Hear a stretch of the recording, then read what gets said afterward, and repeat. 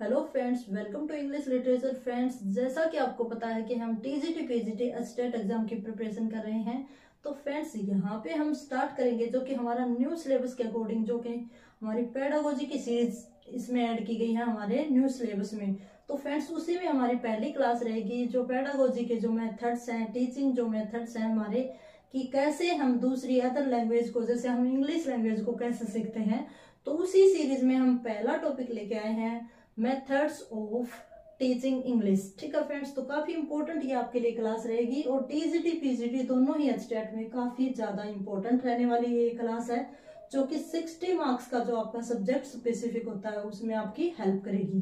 तो फ्रेंड्स काफ़ी ज़्यादा इंपॉर्टेंट ये क्लास है और काफ़ी लॉन्ग टाइम के बाद हम आमने सामने हुए हैं। तो फ्रेंड्स अब इस सीरीज़ को हम कंटिन्यू रखेंगे टिल एच एग्ज़ाम तो हम हमारे जो यूट्यूब चैनल है फ्रेंड्स उस पर कंप्लीट कोर्स लेके आए हैं आपके लिए, जिसमें हम 60 मार्क्स को तो कवर करेंगे ही। साथ ही साथ जो हमारी जनरल इंग्लिश रहती है, उसको भी हम कवर करने की कोशिश करेंगे। तो काफ़ी इंपॉर्टेंट है टीजीटी पीजीटी दोनों ही एग्ज़ाम्स के लिए, क्योंकि फ्रेंड्स ये जो मेथड है, ये टीजीटी के लिए भी और पीजीटी के लिए भी दोनों में ही शामिल किए गए हैं। तो यहाँ दोनों के लिए ये क्लास इक्वल इम्पोर्टेंट रहती है। तो फ्रेंड्स हम देख लेते हैं कि जो हमारे टीचिंग मेथड है, वो क्या होते हैं। तो किसी भी लैंग्वेज को सिखाने के लिए जो टीचर जो मेथड्स यूज़ करता है, जैसे हम देखते हैं कि प्राइमरी स्टेज पे ही प्राइमरी जो लेवल होता है, उसी पे ही टीचर है, वो बच्चे को दूसरी लैंग्वेज सिखाता है। तो वो किस तरह के मेथड्स किस तरह के अप्रोचेज वो यूज़ करता है। किस तरह के ऐसे वो अपनी स्ट्रेटजी बनाए कि जो बच्चे हैं वो अदर लैंग्वेज सीख जाएँ। तो फ्रेंड्स बिना किसी देर के स्टार्ट करते हैं हमारा जो टॉपिक रहता है। तो लेट्स स्टार्ट करते हैं। तो फ्रेंड्स यहाँ हम देखेंगे टीचिंग जो मेथड है, वो वैसे अगर हम बात करें तो हमारी जो लैंग्वेज है, उसमें लगभग चार से पाँच मेथड दिए गए हैं। लेकिन जो सबसे इम्पोर्टेंट जो मेथड रहते हैं जो ज़्यादातर पूछे जाते हैं वो तीन ही मेथड हैं, जिनकी अगर हम बात करें तो ट्रांसलेशन कम ग्रामर मेथड, फिर उसके साथ हमारा बाइलिंगुअल मेथड है और उसके साथ ही हमारा डायरेक्ट मेथड है। तो यहाँ हमारे जो टीचिंग मेथड है, उनको दो कैटेगरीज में शामिल किया गया है। एक तो हमारी रहती है ओल्ड मेथड्स की सीरीज़, या हम कह सकते हैं कि ओल्ड मेथड्स रहते हैं। दूसरा हमारा रहता है न्यू मेथड्स। न्यू मेथड्स तो यहाँ पे अगर हम बात करें तो ओल्ड मेथड है, इसमें translation translation cum grammar method को यूज़ किया गया है, और साथ ही साथ जो हमारा डायरेक्ट मेथड है, उसको यूज़ किया गया है। ये जो मेथड है फ्रेंड्स ये मेथड हमारे पहले यूज़ किए जाते थे। अब हमारी जो मॉडर्न इंग्लिश है, उसमें जो अदर मेथड है, उनमें हम बायलिंगुअल मेथड को भी शामिल करते हैं, और सब्सिट्यूशनल मेथड को भी यूज़ करते हैं। तो फ्रेंड्स यहाँ पे हम डिस्कस करेंगे जो हमारे ओल्ड मेथड है, उनको आज हम डिस्कस करेंगे। तो स्टार्ट करते हैं। तो यहाँ फ्रेंड्स आपको पता चल गया होगा कि जो ओल्ड मेथड थे, वो क्या होते थे? जो हम स्टार्टिंग से सीखते आ रहे हैं, जो कि हम कैसे सीखते हैं? जो या तो टीचर उनको डायरेक्ट सिखाता है, या उनको ट्रांसलेट करके सिखाता है। तो यहाँ पे हमारा जो ओल्ड मेथड है, उसकी बात कर लेते हैं। तो इसमें जो मैंने अभी आपको बताया कि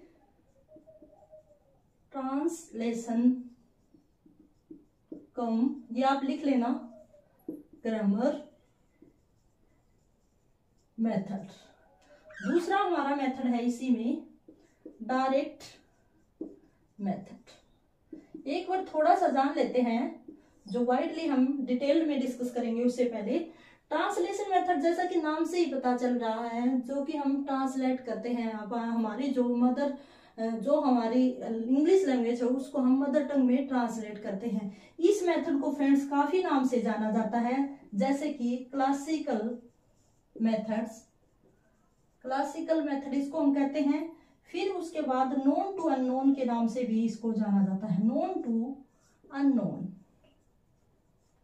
फिर उसकी बात करें तो ये फ्रेंड्स हमारा ओल्ड मेथड कहलाता है। अगर आपसे क्वेश्चन आता है कि कौन सा मेथड, ओल्ड मेथड है? तो ये हमारा क्या रहता है? ग्रामर ट्रांसलेशन वाला मेथड। ट्रांसलेशन कम ग्रामर वाला मेथड। तो यहाँ पे ओल्ड मेथड इसको कहते हैं।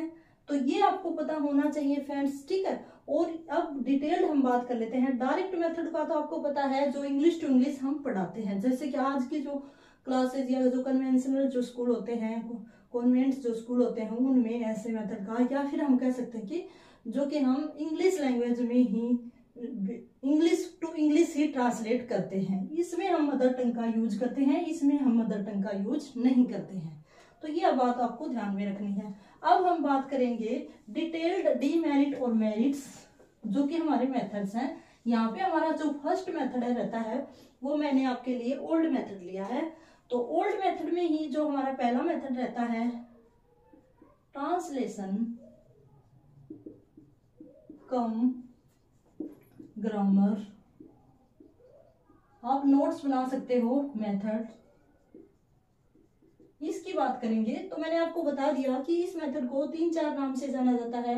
Old method classical method translate करने वाला मेथड या फिर हम कह सकते हैं कि grammar translation cum grammar method ठीक है?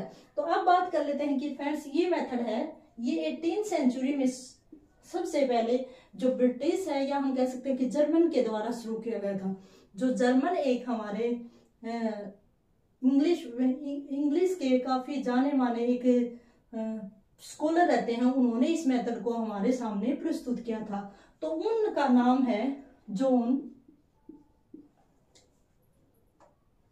ये ऐसे करके नाम है सिडेन ये ऐसे उसका नाम है भाई स्ट्रकर ठीक है? तो जोन सिडेन स्ट्रकर ने इसको दिया था। कब दिया था? एटीन सेंचुरी में दिया था और ये जर्मन के हमारे स्कॉलर रहते हैं और इन्होंने क्या बताया कि भाई जो बच्चे हैं वो ग्रामर की, या हम कह सकते हैं कि ग्रामर से और जो हमारा ट्रांसलेशन है उससे अच्छी तरह सीखते हैं। तो इन्होंने क्या बात बोली है कि किसी भी चीज़ को हम सिखाते हैं कि हम जिस भी चीज़ को सिखाएँगे, अगर हम उसको मदर टंग में सिखाएँगे ना तो बच्चा वो जल्दी से सीखेगा। तो यहाँ पे जो अदर लैंग्वेज होती है अदर लैंग्वेज होती है, उसको हम किसमें कन्वर्ट करेंगे? मदर टंग में। मदर मदर टंग में कन्वर्ट करेंगे। तो यहाँ बच्चा बहुत जल्दी सीखता है। और क्या कहा है इन्होंने कि जो ये मेथड है, इससे बच्चा है वो लॉन्ग टर्म तक उसको ये याद रहता है। क्योंकि जो ये मेथड बेस्ड होता है, ये रूल्स के ऊपर बेस्ड होता है यहाँ पे क्या होता है फ्रेंड्स पहले जो ग्रामर के रूल्स हैं, वो सिखाए जाते हैं और फिर बाद में बच्चे को एग्जाम्पल्स दिए जाते हैं। मीन्स क्या करता है कि पहले बच्चे को हम वो पढ़ाते हैं जो कि बुकीज में या हमारे जो बुक में लिखा होता है और फिर उसके बाद में एग्ज़ाम्पल देते हैं। ठीक है फ्रेंड्स तो यहाँ पे हमारा रूल से एग्ज़ाम्पल की तरफ़ ये मेथड चलता है। फिर बात कर लेते हैं कि ये मेथड है, ये कहाँ पे का ज़्यादा हम कह सकते कि बेनिफिशियल है तो प्राइमरी लेवल पर। प्राइमरी लेवल पर ये मेथड है, वो सिखाया जाता है। क्वेश्चन कैसे आएगा आपसे कि विच मेथड इज़ डिस्कस या बेनिफिशियल या ये कह देगा कि प्राइमरी लेवल तो हम बात करेंगे, जो ट्रांसलेशन कम ग्रामर मेथड है, वो प्राइमरी लेवल पर काफ़ी अच्छा काम करता है। ठीक है फ्रेंड्स तो ये इन्होंने करेक्टरिस्टिक्स बताई हैं, और इस मेथड से इन्होंने क्या बताया है कि भाई ये मेथड है, वो हम इजीली से किसी बच्चे को सिखा सकते हैं। मदर टंग का यूज़ करके हम इस मेथड को सीखते हैं। अब बात कर लेते हैं कि इस मेथड के डीमेरिट्स और मेरिट्स क्या हैं। ये तो इस मेथड की ये हुई की पॉइंट्स ठीक है? तो अब बात कर लेते हैं कि मेरिट्स की। मेरिट्स ऑफ़ ट्रांसलेशन मेथड ठीक है? ट्रांसलेशन कम ग्रामर मेथड तो यहाँ बात कर लेते हैं तो बेनिफिशियल फॉर प्राइमरी लेवल दूसरा है इसमें बेनिफिशियल फॉर लार्ज क्लासेस अगर देखो फ्रेंड्स यहाँ क्या होता है कि हम पूरी क्लास को बोर्ड पे, जैसे आप कितने भी देखो, हम अपनी लैंग्वेज में उस बच्चे को, उस जो जितने भी हमारी क्लास होती है, उसको हम इजीली से सिखा सकते हैं। ठीक है? फिर आगे रहता है कि फ्रेंड्स सेव्स टाइम ये टाइम को सेव करता है। यहाँ क्या होता है और? ये बच्चे को लॉन्ग टाइम तक याद रहता है। ठीक है फ्रेंड्स और बच्चा है वो इजीली से इसको कवर कर लेता है। ये तो इसके हुए मेरिट्स अब बात कर लेते हैं कि ये मेथड है। ये क्यों नहीं, ज़्यादा दिनों तक, क्यों नहीं ज़्यादा टाइम तक ये यूज़ में रहा। ये ओल्ड मेथड है, अब न्यू मेथड आ गए हैं। तो फ्रेंड्स इसकी बात कर लेते हैं। तो डीमेरिट्स डीमेरिट्स डीमेरिट्स क्या होंगे? एक तो फ्रेंड्स ये जो मेथड है, ये काफ़ी स्लो काम करता है।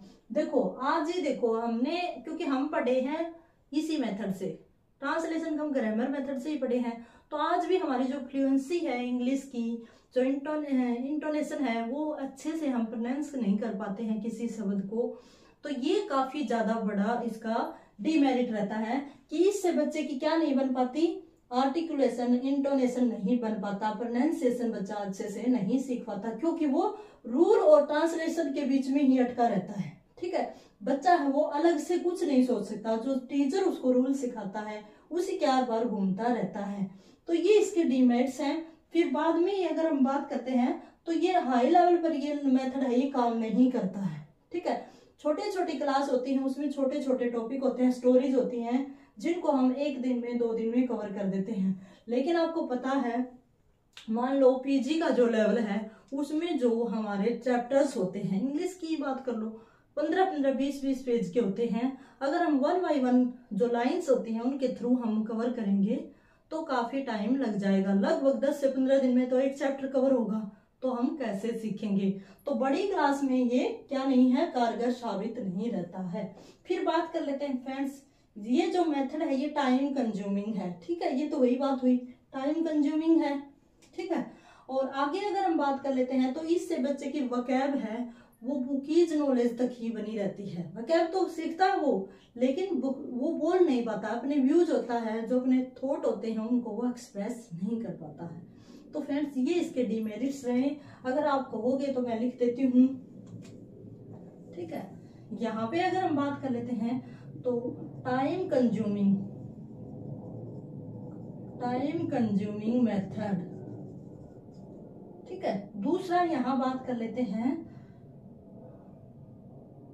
not so useful in higher classes. तीसरा तीसरा क्या रहता है? Not increase our intonation articulation articulation और pronunciation pronunciation ठीक है? तो ये इसके डिमेरिट्स रहते हैं। फिर बात कर लेते हैं कि हायर क्लास में ये मैंने आपको अभी बताया। तो फ्रेंड्स यहाँ पे हमारा क्या होता है? नोट क्या नहीं करता? ये हमें फ्रीली हमें सोचने की पावर प्रदान नहीं करता। हमारी वोकेबलरी है, वो नहीं बढ़ती है इससे। ठीक है फ्रेंड्स हम हमारे व्यूज़ है, वो एक्सप्रेस नहीं कर पाते हैं। तो ये इसके डिमेरिट्स रहे हैं। और फुली ये हमारा जो मेथड होता है, ये किसके ऊपर? बेस्ड रहता है बुक्स के ऊपर। ठीक है? और इससे हमारी और क्या होती है फ्रेंड्स? जो हमारी स्पीकिंग और लिसनिंग की जो पावर है, स्किल है, वो भी नहीं बढ़ पाती। क्योंकि बीच बीच में तो हम एग्ज़ाम पर बातें करते रहेंगे। स्पीकिंग और लिसनिंग की तो हमारी वो जो स्किल है, वो नहीं बढ़ती है। उसको रिड्यूस करता है, उसको बढ़ाता नहीं है। बुक्स के ऊपर बेस्ड है, साथ ही साथ ये रूल्स के ऊपर बेस्ड है। ये बच्चे को ओनली रट्टाफिकेशन करवाता है कि भाई इसका ये होगा, इसका ये होगा। और जैसे जैसे हम आगे क्लासेज में जाएँगे तो हमारे लिए जो ये मेथड है वो कारगर साबित नहीं होता है। तो फ्रेंड्स आई होप सो आपको समझ आ गया होगा। क्लास काफ़ी लंबी हो गई होगी। दूसरी क्लास में हम जो हमारा डायरेक्ट मेथड है उसको करेंगे। फिर हमारे जो न्यू मेथड्स हैं, उनको हम डिस्कस करेंगे। तो होप सो काफ़ी इंपॉर्टेंट काफ़ी अच्छी आपके लिए क्लास रहेगी। अगर आपको क्लास पसंद आए तो इसको लाइक शेयर और चैनल को सब्सक्राइब ज़रूर करिएगा। और इसी के साथ have good day and best of luck